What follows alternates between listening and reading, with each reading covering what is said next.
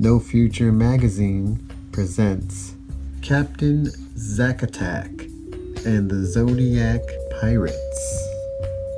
Swashbuckling tales from the underworld.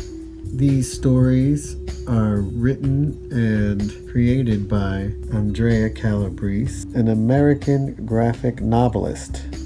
The Hollywood, Florida traffic circles from the sky make Hollywood Boulevard look like an alien landing strip or some ancient Mayan pyramid complex running from the beach, then inland to a secret Garden of Eden. Over the intercoastal, a yellow van recklessly speeding and swerving as the twilight morning is just about to emerge. The headlights, like luminous pillars, frame the chrome grille donning the words Mystery Machine in all capital letters, a Scooby Doo reference.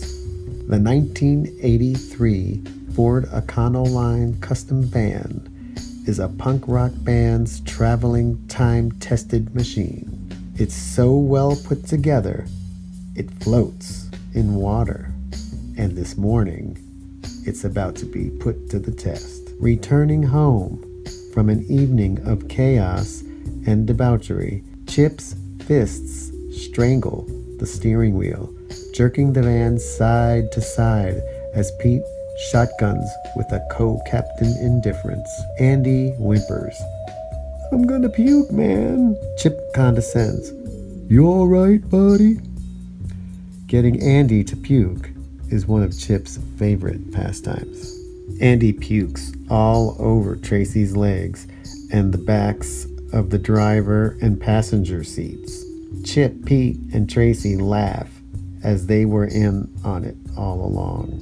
Pete looks back over his shoulder and questions Tracy. How long before the mushrooms kick in, man? Tracy scratches his head and looks at Pete like a dog that just saw a card trick and says, The sky's gone out.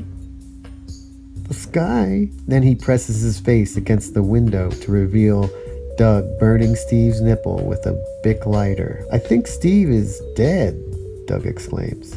What the fuck? Chip blurts out. What was Steve doing back there at the Bat Club? Doug snarkily replies, Maybe it's that crappy heroin we were doing with Bob. Everyone in the van is being thrown around by Chip's one eyed, reckless, serpentining race car antics.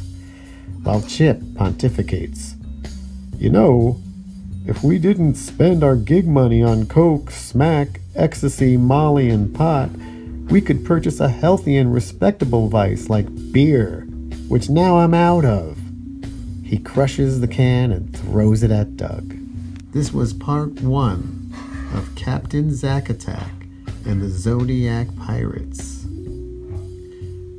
Stay tuned next week for part two